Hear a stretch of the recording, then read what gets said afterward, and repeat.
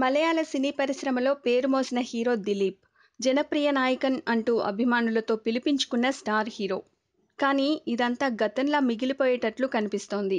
Heroine kidnap ఉదంతంలో దిలీప్ని arrest చేయడం అతడు ఏళ్ళ తరబడి సంపాదించుకున్న మొత్తం ఇమేజ్ను దెబ్బతీసేస్తోంది. ఇప్పటికే మలయాళ సినీ పరిశ్రమ తమ అండ భావనకే అని తేల్చి చెప్పేశారు. ఇప్పుడు అభిమానుల రూట్ కూడా ఇదే అనిపిస్తోంది. దాదాపు అన్ని ఏరియాల్లో దిలీప్పై వ్యతిరేకత వ్యక్తమవుతోంది.